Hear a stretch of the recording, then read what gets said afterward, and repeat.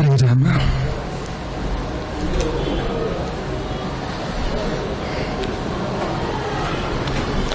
ईश्वर, गुरु रात नहीं थी। मूर्ति भेद विभागिनी व्योमद्व्याप्त देहाय। दक्षिणा दक्षिणामूर्तजे नमः।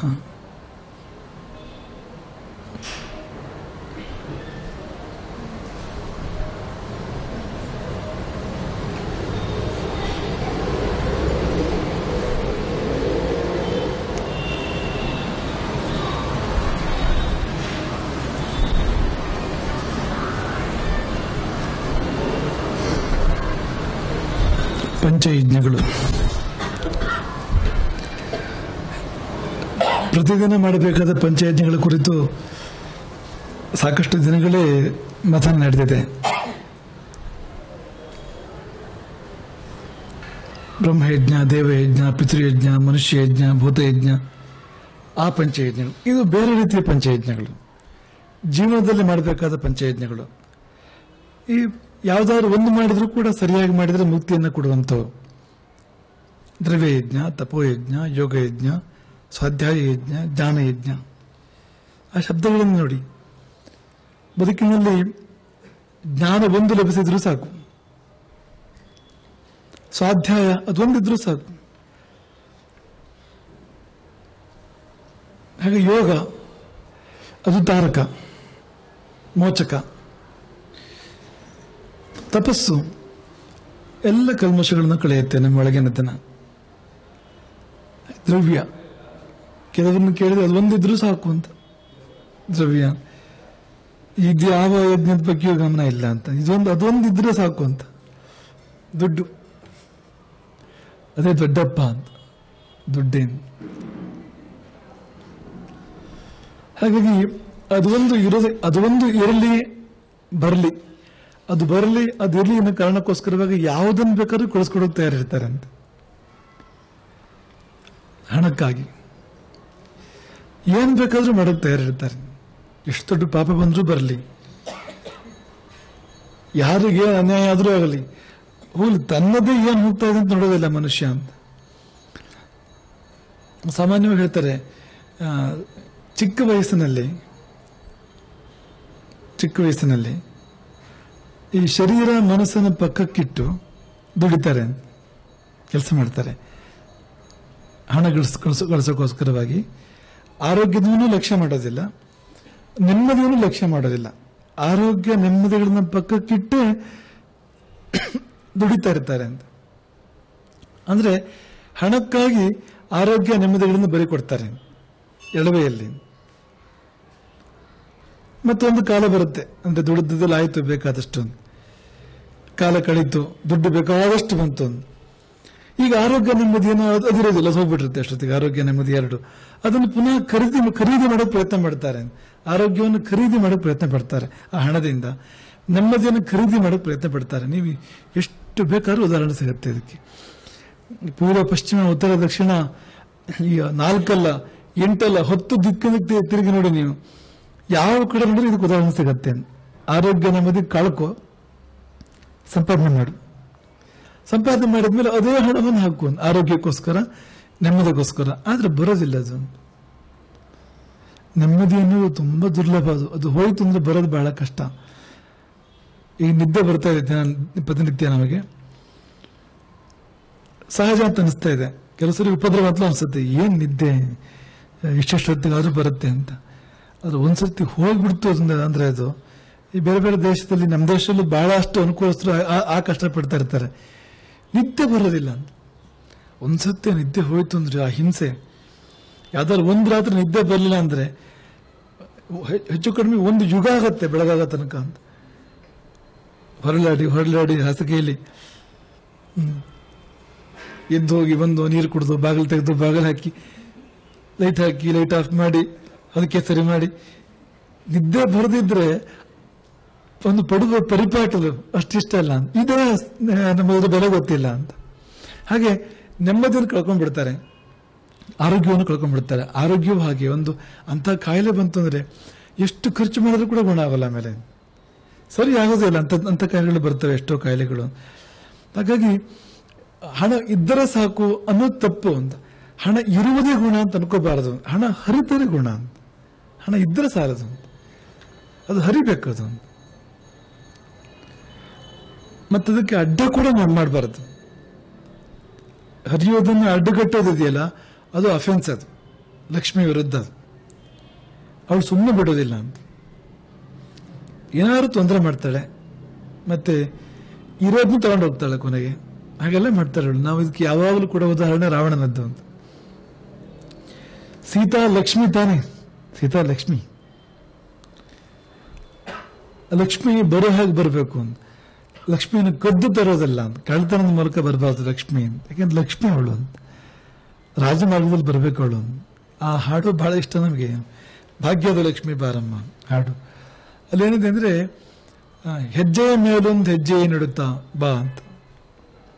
ಅದಕ್ಕೆ ಬಹಳ ಒಳ್ಳೆ ಅರ್ಥ ಇದೆ. ಅಂದ್ರೆ ಒಂದೇ ರಾತ್ರಿ ದಿಢೀರ್ ಶ್ರೀಮಂತ ಆಗೋದು ಡೇಂಜರ್ ಅಪಾಯಕಾರಿ ಅಂತ ಅರ್ಥ ಅದಕ್ಕೆ. ಮೆಲ್ಲ ಮೆಲ್ಲ ಬಾ, ನಿಧಾನ ಬಾ ಅಂತ. ಗಡಿಬಿಡಿ ಮಾಡಬೇಡ ಅಂತ.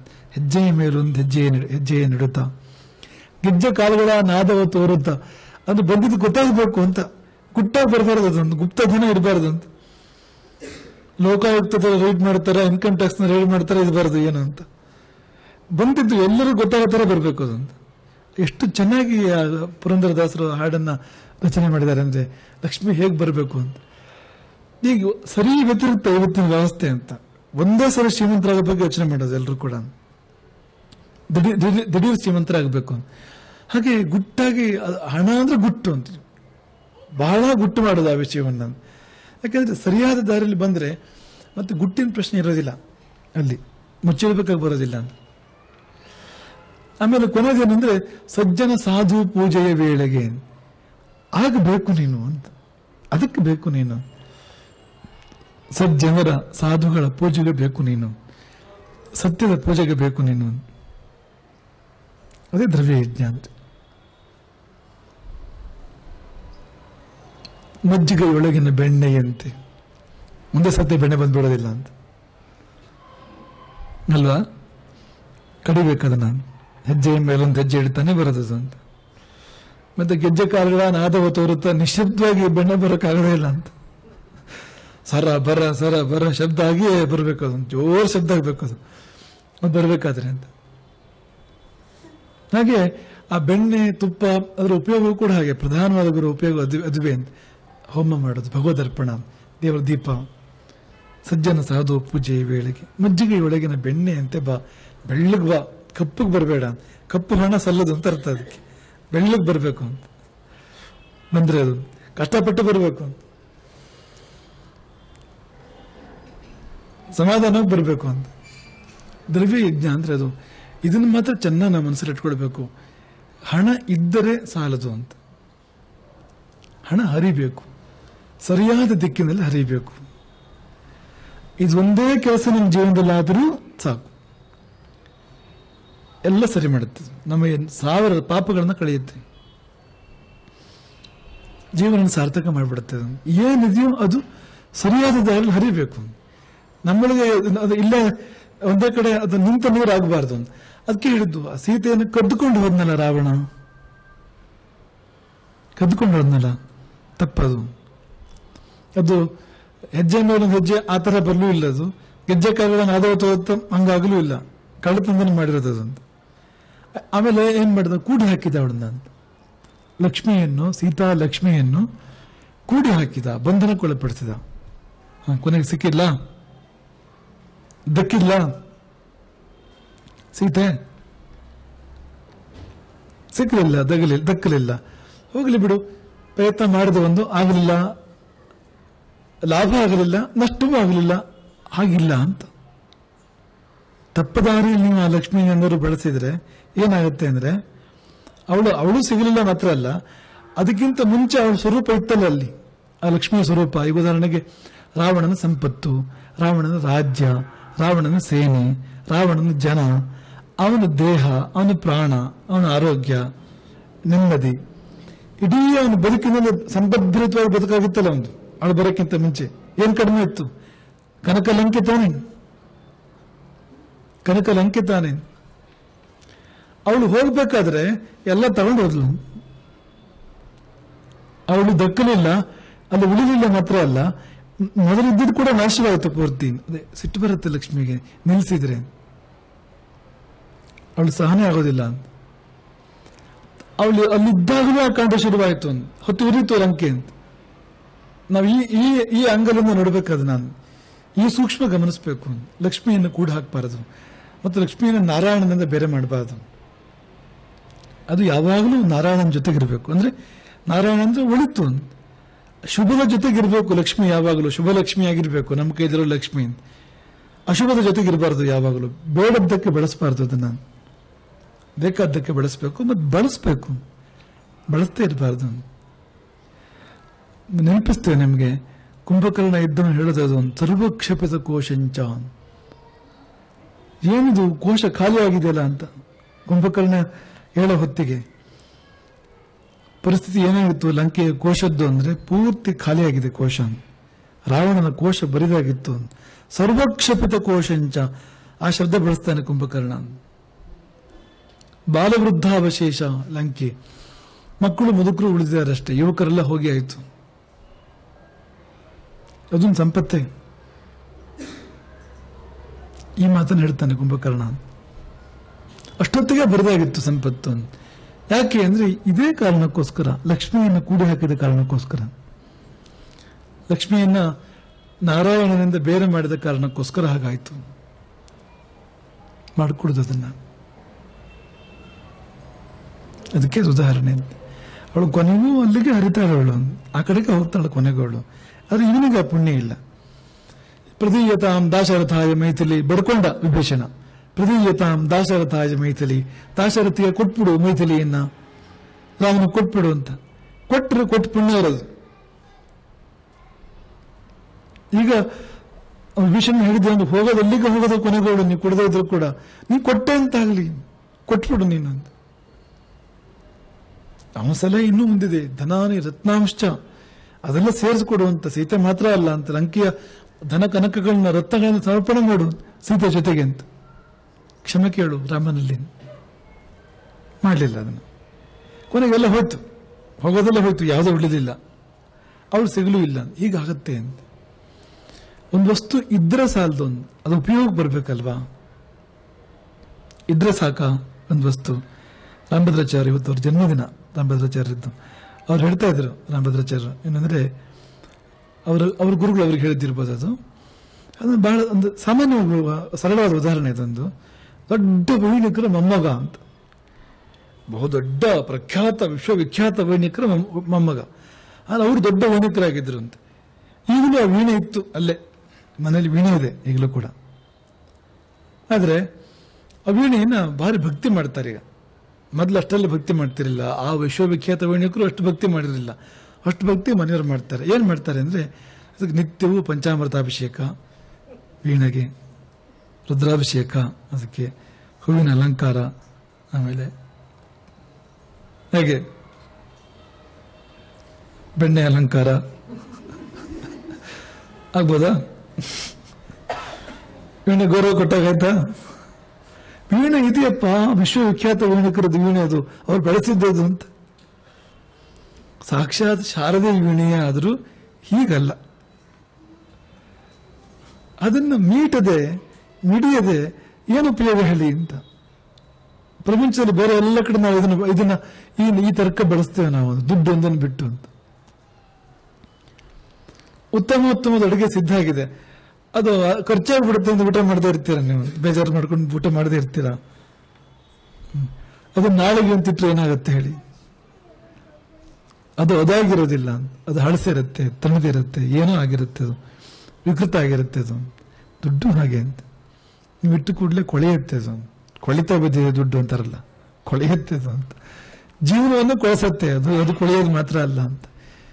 ಪ್ರತಿ ಒಂದು ಹಾಗೆ ಮನೆ ಕಟ್ಟಿ ಅದನ್ನ ಬಡತ್ತೆ ಹಾಗೆ ಬಿಟ್ಟರೆ ಭೂತ, ಭೂತದ ಮನೆ ಆಗ್ಬಿಡುತ್ತೆ ಭೂತ ಬಂಗ್ಲೆ ಆಗುತ್ತೆ ಬಿಡಬಾರದು, ಬರೀ ಖಾಲಿ ಮನೆಯನ್ನ ಅವಲಕ್ಷಣ ತುಂಬಾ ಇರುತ್ತೆ. ಖಾಲಿ ಬಿಟ್ಟರೆ ಒಂದು ಮನೆಯನ್ನ ಒಂದು ಎಂಟು ಜನ ಮನೆಗೆ ಆ ಮನೆಗೆ ಹೋಗದಿದ್ರು ಕೂಡ ಆಮೇಲೆ ಹೋದ್ರೆ ಒಂಥರ ರಾಹು ಆ ಮನೆಯಲ್ಲಿ. ಗ್ರಹಣ. ಆ ತರ ಇರುತ್ತೆ ನೋಡಿ. ಯಾವ ಸಂಗತಿ ಆದರೂ ಹಾಗೆ, ನೀವು ಬಳಸ್ತಿದ್ರೆ ಆ ದಾರಿ, ನೀವು ಆ ದಾರಿ ಓಡಾಡ್ತಾ ಇಲ್ಲ ಅಂದ್ರೆ ಅದು ಮತ್ತೆ ಪುನಃ ಮುಚ್ಚಿಕೊಳ್ಳುತ್ತೆ ಕಳೆ ಬಂದು ಸೇರ್ಕೊ ಬಂದು ಮುಚ್ಕೊಳ್ಳುತ್ತೆ ಪೂರ್ತಿಯಲ್ಲಿ. ನಿಂಗೆ ಬಾರತಾನೆ ನಿನ್ನ ಉಪಯೋಗಕ್ಕೆ ನಿಲ್ಲುತ್ತಾನೆ ತಾನೆ ಅಂತ. ನಡೀತಾ ಇದ್ರೆ ಅಷ್ಟೇ ಅದು ಲೋಲು ಹುಟ್ಟೋದಿಲ್ಲ. ದಾರಿ ಇರುತ್ತೆ ಹಾಗೆ. ನಿಂಗೆ ಬೇಕಲ್ವಾ? ಇದನ್ನು ನಾನು ಅಂತ ಅದರ ಅರ್ಥ. ಹೋಗದೆ ಇದ್ರೆ ನಿಂಗೆ ಹೇಗೆ ಬೇಡತ್ತಾನೆ ಅಂತ. ಬೇರೆದಕ್ಕೆ ಉಪಯೋಗ ಆಗುತ್ತೆ ಅದು ಅಂತ. ಪ್ರತಿ ಒಂದು ಸಂಗತಿ ಹೀಗೆ. ಅದೇ ನಮ್ಗೆ ಯಾವಾಗಲೂ ಹೇಳೋದಿದೆಯಲ್ಲ ನಮ್ದು. ವಿಜ್ಞಾನ, ವಿಜ್ಞಾನದ ಪ್ರಕಾರವೇ ಬಳಸದೇ ಇದ್ರೆ ಅಂಗವಾದರೂ ಕೂಡ, ದೇಹದ ಒಂದು ಅಂಗವಾದರೂ ಕೂಡ, ನೀವು ಎಷ್ಟೋ ಕಾಲ ಎಷ್ಟೋ ತಲೆಮಾರು ಬಳಸ್ತಾ ಇದ್ರೆ ಆ ಅಂಗ ಇರೋದಿಲ್ಲ ಕೊನೆಗೆ. ಅದು ಕಣ್ಮೆ ಆಗ್ಬಿಡುತ್ತೆ, ಅಂಗವೇ. ಒಂದು ಅಂಗನೇ ಕಡಿಮೆ ಆಗುತ್ತೆ. ಬಳಸ್ತಾ ಇದ್ರೆ ಮಾತ್ರ ಉಳ್ಕೊಳ್ಳೋದು ಅಂತ. ಎಲ್ಲಿ ಹೋದ್ರೂ ಹೀಗೆ ಅಂತ. ಎಲ್ಲಿ ಹೋದ್ರೂ ಹೀಗೆ ಅಂತ. ಬರೀ ದುಡ್ಡಿನ ವಿಷಯಕ್ಕೆ ಮಾತ್ರ ಮಾತ್ರ ಅಂತಲ್ಲ ಅಂತ. ಪ್ರಪಂಚವೇ ಹೀಗೆ ಅಂತ. ಇದ್ರೆ ಸಾಲದು ಅಂತ. ಮನೆಯಲ್ಲ ಹಿರಿಯರಿದ್ದಾರೆ. ಇದ್ದಾರೆ ಅಂತಷ್ಟೇ. ಅವ್ರನ್ನ ಏನು ಕೇಳೋದಿಲ್ಲ. ಅವರಿಗೇನು ಹೇಳೋದಿಲ್ಲ. ಏನು ಪ್ರಯೋಜನ? ಏನು ಪ್ರಯೋಜನ ಇಲ್ಲ. ಲಂಕೆಯಲ್ಲಿ ವಿಭೀಷಣ ಇದ್ದ ಸಚಿವ ರಾವಣನಿಗೆ. ಅವನು ಮೊದಲು ಸಚಿವ. ಆದರೆ ಅವನು ಸಲಹೆ ತಗೊಳ್ಳದ ಮೇಲೆ ಆ ಪದವಿಗೆ ಅರ್ಥ ಏನು ಹೇಳಿ? ಇದ್ದೇನು ಪ್ರಯೋಜನ? ಉಪಯೋಗ ತಗೋಬೇಕು ದ್ರವ್ಯದ ಉಪಯೋಗ ತಗೋಬೇಕು ಅಂದ್ರೆ ಹರಿಯಕ್ಕೆ ಬಿಡಬೇಕು ಅದನ್ನ ಆದರೆ ಎಲ್ಲೋ ಹರಿದೆ, ಹರಿಯ ಕಡೆಗೆ ಹರಿಯುವ ಹಾಗೆ ಮಾಡ್ಕೊಂಡ್ರೆ. ಈಗ ಮನೆಯಿಂದ ನೀರು ಹರಿಯುತ್ತೆ. ಹರಿಯೋದಂತೂ ಹೃದಯ ಹರಿಯುತ್ತೆ. ತೋಟಕ್ಕೆ ಹರಿಯಾಗಿ ಮಾಡ್ಕೊಂಡ್ರೆ ತೋಟ ಹಸಿರಾಗುತ್ತಲ್ವಾ? ಅಡಿಕೆ ಜಾಸ್ತಿ ಬರುತ್ತೆ, ತೆಂಗು ಜಾಸ್ತಿ ಬರುತ್ತೆ, ತಾನೆ? ಹಾಗೆ. ಹಾಗಾಗಿ ದ್ರವ್ಯ ಯಜ್ಞ ಅಂತ ಅನ್ನುವಾಗ ದ್ರವ್ಯವನ್ನೇ ಯಜ್ಞವಾಗಿಸು. ಅದು ದ್ರವ್ಯ ಅನ್ನೋದು ನೆನಪಿರಲಿ ನಿಮಗೆ ಯಾವಾಗಲೂ. ತುಂಬ ಚೆನ್ನಾಗಿದೆ ಅಂತ ಅನ್ಸುತ್ತೆ ನಮಗೆ. ನಿಜವಾಗಿ ಈಗ ರಸಕ್ಕೂ ಹಣಕ್ಕೂ ಸಂಬಂಧವೇ ಇಲ್ಲ ಒಂಥರ ಇರುತ್ತೆ. ಅಲ್ವಾ? ಲೆಕ್ಕಾಚಾರ, ದುಡ್ಡು, ಅದಕ್ಕೂ ಹೃದಯವಂತಿಕೆ, ರಸ, ಭಾವ ಎಲ್ಲ ಬೇರೆ ಬೇರೆ ಜಗತ್ತು ಅಂತ ಅನ್ಸುತ್ತೆ. ಅದೇ ಬೇರೆ ಜಗತ್ತು, ಇದೇ ಬೇರೆ ಜಗತ್ತು ಅಂತ. ಲೆಕ್ಕಾಚಾರ ತುಂಬ ಶುಷ್ಕ. ಈಗ ಗಣಿತ. ಅದು ರಸಮಯ ಅಂತ ಹೇಳೋರು ಯಾರು ಇದ್ದಾರೆ ಗಣಿತವನ? ತಲ್ನೋ ಗಣಿತ ಅಂದ್ರೆ? ಅಂತ ಅದೇ ಸಮಾಜ ಆದ್ರೆ ಏನೋ ಕಥೆ ಕಥೆಯಲ್ಲೇ ಇರುತ್ತೆ ಸಮಾಜದ. ಹಳೆ ಕಾಲ ಸಮಾಜದ ಪುಸ್ತಕ ಇರ್ತಿತ್ತು. ಈಗ ಅದು ಉಂಟ ಇಲ್ಲ ಗೊತ್ತಿಲ್ಲ. ಹಾಗೊಂದು ಸೋಷಿಯಲ್ ಸ್ಟಡೀಸ್ ಅಲ್ಲಿ ಭಾರತ ದೇಶದ ಕಥೆಯೋ, ಪ್ರಪಂಚದ ಕಥೆಯೋ, ಯಾರ್ಯಾರು ಮಹಾಪುರುಷರ ಕಥೆಯೋ, ಹಿಂದಿನ ಹಿಂದಿನ ಅಂತದೆಲ್ಲ ಇರ್ತಿತ್ತಪ್ಪ ಆಗ ಅಲ್ಲಿ. ಹಾಗೆ ಈ ಸಬ್ಜೆಕ್ಟ್ ಇದೆಯಲ್ಲ, ಈ ಗಣಿತ ಅನ್ನೋ ಸಬ್ಜೆಕ್ಟ್ ಅದರಲ್ಲಿ ಎಂಥದೂ ಇಲ್ಲ ಅಂತ. ಎಷ್ಟು ಹಿಂಡಿದ್ರೂ ಒಂದು ಒಂದು ಒಂದು ಬಿಂದು ರಸ ಇಲ್ಲ ಅಂತ ಅಂತ ಸಬ್ಜೆಕ್ಟ್ ಅದು. ಗಣಿತ ಅಂದ್ರೆ ಅಂತ. ಎರಡಕ್ಕೆ ಎರಡು ಕೊಡ್ಸಿದ್ರೆ ಎಷ್ಟು ಅಂತ? ಎಷ್ಟು ಅವರು ಆಗಲಿ ಅಂತ.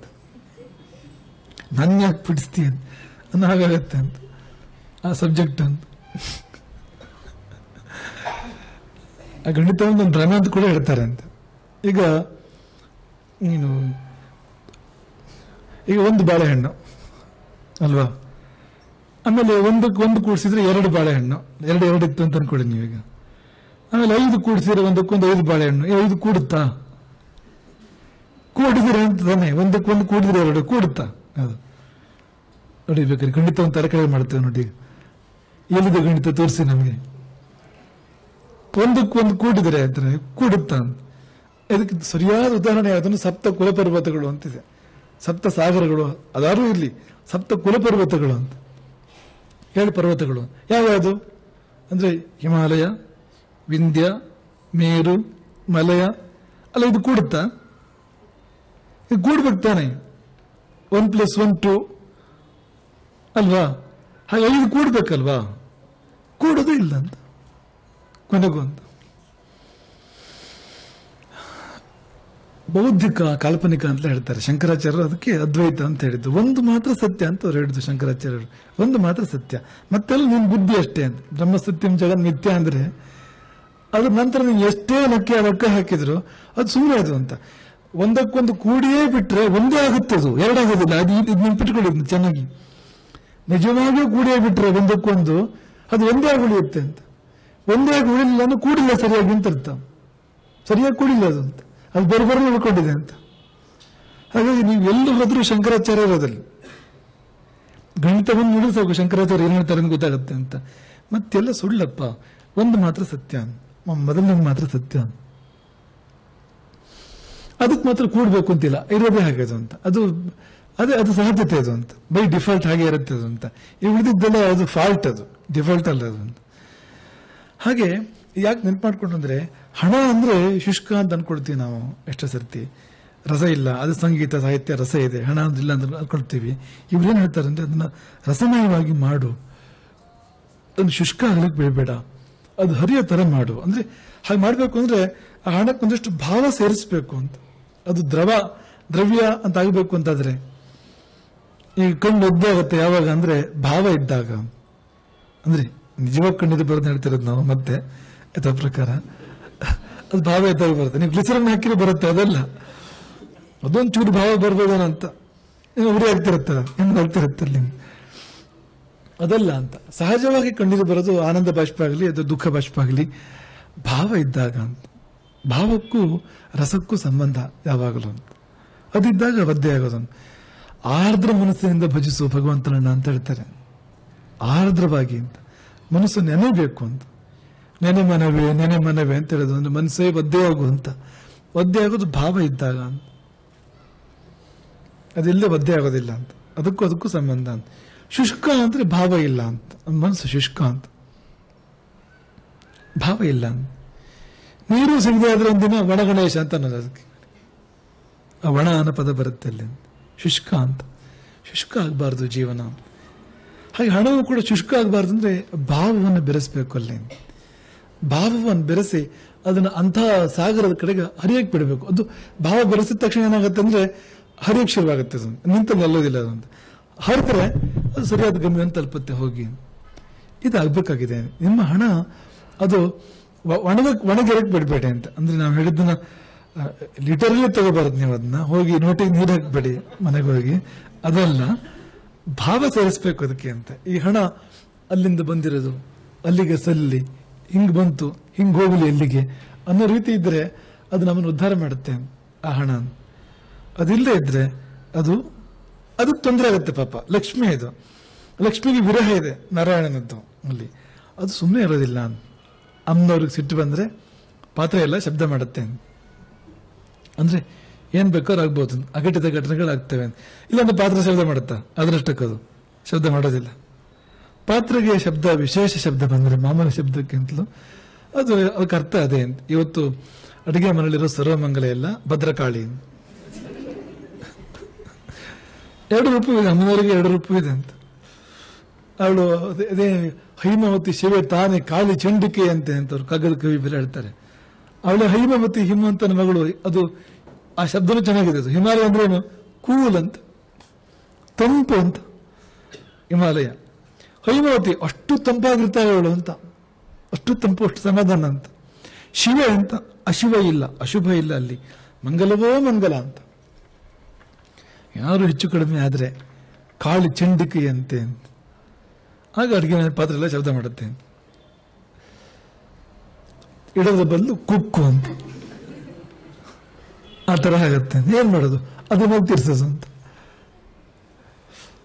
ಹಾಗೆ ಆ ಲಕ್ಷ್ಮಿಗೂ ಸಿಟ್ಟು ಬಂದಾಗ ಅವಳು ನಮ್ಮ ಜೀವನದಲ್ಲಿ ಅನಾಹುತವನ್ನು ಮಾಡ್ತಾಳೆ ಹಾಗಾಗಿ ಎಂದೂ ನಿರರ್ಥಕವಾಗಿ ಅದೇ ಆ ಶಬ್ದಕ್ಕೆ ನಿರರ್ಥಕವಾಗಿ ಹಣ ಇಟ್ಕೋಬಾರದು ಅರ್ಥ ಅನ್ನೋದಕ್ಕೆ ವಿರುದ್ಧ ಪದ, ನಿರರ್ಥಕ ಅನ್ನೋದು.